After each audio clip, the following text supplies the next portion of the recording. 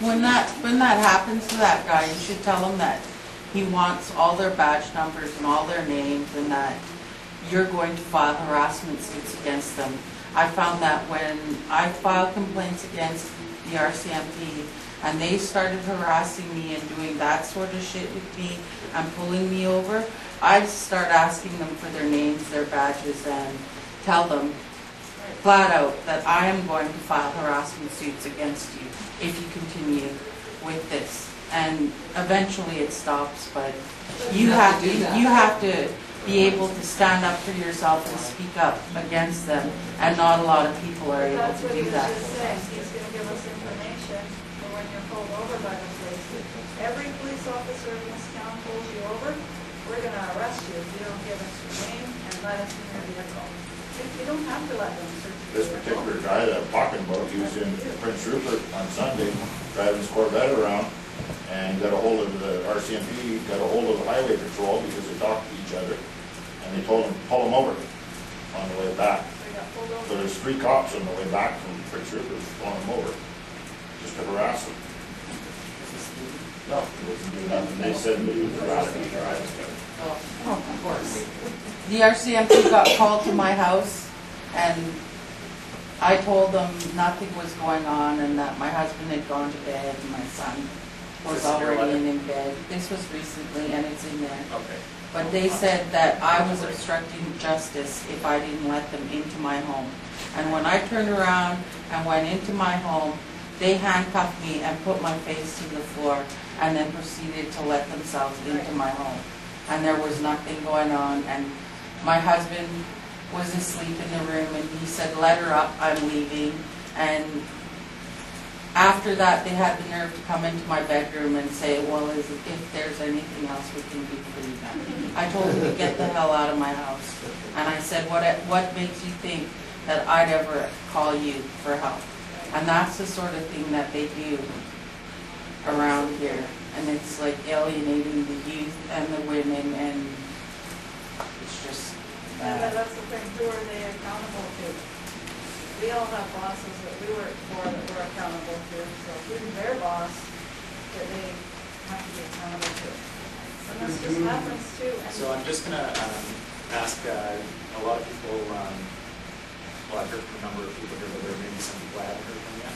So if you haven't had a chance to say anything yet, you wanted to say something, let's do it down in the back, with his hand up, and then come up here again.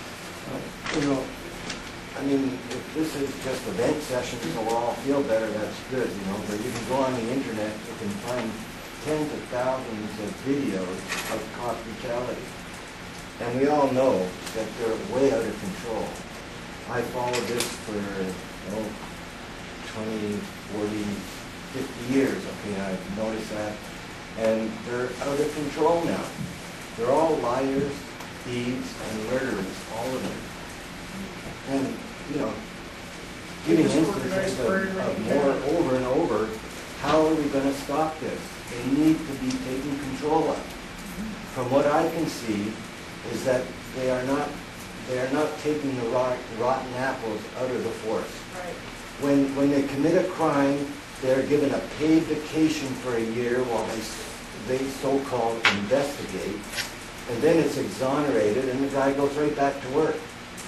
Well, there's an old saying that one rotten apple will, will ruin a barrel. Well, that's what's happened with the police force, okay?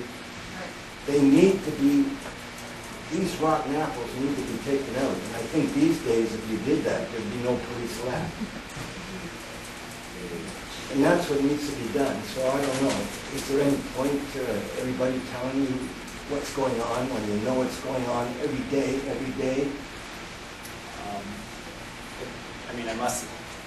I'm assuming it's not a rhetorical question. I understand the frustration, and, uh, you know, I've worked in police accountability uh, issues um, for a number of years now, and uh, I agree with you that it's very frustrating work. Um, But I think it's really important uh, to push back. Um, And so one of the points of this uh, consultation is if there are issues, um, that, that uh, telling the police that there are issues and that we've come to this community and that compared to other communities, I have to say, um, compared to other communities, uh, there is a disproportionate number of uh, concerning events that have been brought forward at this workshop uh, compared to even just being up the road in It's the Smithers. Same in every community, And, uh, I'm sure. You know, I, I agree with you that the net effect might be only a change in management at this detachment, um, which can make a difference in policing here, but in the RCMP, it typically means moving the uh, police officer to a different detachment. Right.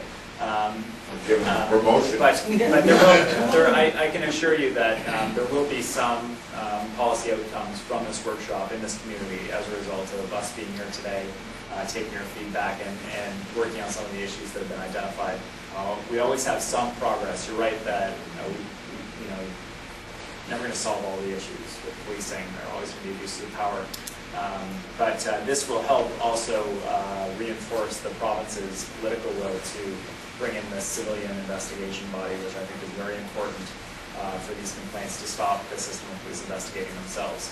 So even if it only succeeds in keeping the province on track to do that, then that would be a a good success in itself. So it's not, it's not pointless, and I I would urge you not to see it that way, because I think it is an important process. Um, But you're right, it's not going to address some They're all integrated, you know, I mean, they'll investigate something, put it to a special prosecutor, and, and he'll say, oh, there's no case here. Yeah, no, it's very frustrating. I mean, there is a case. You're you're preaching to the choir. I, I- you know, there's never been a charge against a police officer for a police-involved death in the history of British Columbia. And it's not because no one's ever inappropriately been killed by a police officer. It's because there's a problem with the system. So you're, you're certainly preaching to the choir on this kind of stuff, but I do think there is a purpose to doing this. So our little So- complaints don't have a hope. Um, does anyone else have anything else that they, um, any questions? Yep. Um, I wanted to find out if, uh, that, uh, the last time my brother was shooting in, uh, park over there. Yep. Cross came and they roughed him up right in my field. And I went over there to try and see what they, take, take him home, because he's going to make it, uh, a few feet away from our place. Yep. And they roughed them up outside in that field there. Yep. And then, then I went, when I was going over there, they tried to use one of those spray cans on me. And they, they told me to stand back. I told them, I talked, I said, I just live right, right over there and I want to take my brother home. And they took, they took him, they took him to jail, they beat, they beat the crap out of him in jail. And I got the picture of it too. And he had seizure in jail, and the cops, he wouldn't, wouldn't call the ambulance on him, for him. And- And the security guard there, they had to phone the ambulance for him. I found that out about a couple of hours after when I was gonna take him home.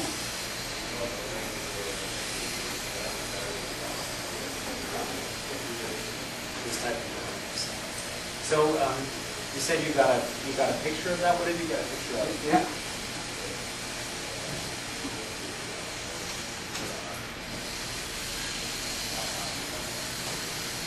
Come have a look.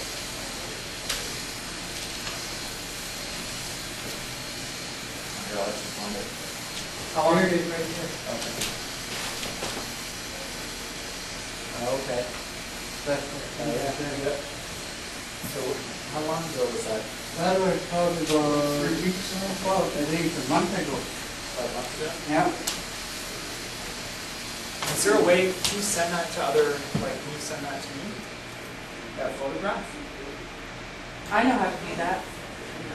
If you give me your email address, let me give you. Me, I don't know how to do that, but, uh, I need somebody to, Yeah. So actually, um, I'll do that, we're just about to wrap up, just a moment ago. Does anyone else have any other, does anyone else have any other questions that they wanted to ask? Yeah, um, uh, yeah, like, uh, like, uh, using a kid now as a way of walking, and I was sitting in a park, a cop walk up to me, hey, me, what you doing? I said, when for supper? I said, gonna go home for supper, a nice hot day like this. And they said, send me home, they, I come home not drinking. I said, I'm just sitting alone and I'm, uh, just enjoying the sun. And, and he was, he, he was conservative for me, but I I said, uh, you can smell alcohol my breath, you can, I said, but there's nothing. And I say, the way I walk, I say, I me in. And they put me in the water when I was sober. And I stayed awake all that time. And they thought I was drunk, I was sober.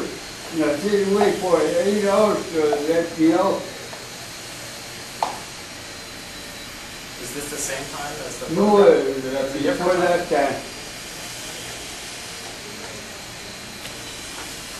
The girl was talking about earlier, they always go after the same people, whether they're drinking or not. And Oh, how, how you doing? how long ago was, how long ago was that? That was uh, a couple months ago. So in the last, uh, let's say in the last year, how many times have they, uh, Well, uh, yeah, well, I can't even in a party, and like if you be walking there on your bikes and they come up and you've been drinking, I don't know, I'm not drinking, sober, I just enjoy the sun.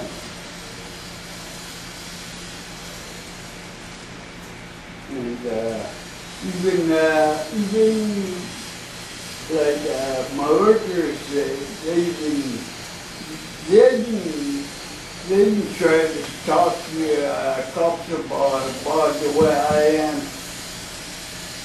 There's one cop that they talked to, uh, real US, eh, and, he- and, uh, but he in Paris now, but he knew, he, he knew everybody over at the office and that uh, they, they told that uh, told one of them uh, workers uh, that my worker told, told the cop his name's Constable, Constable Bucks. They told me said he just like that. He's not. He like that. He's not.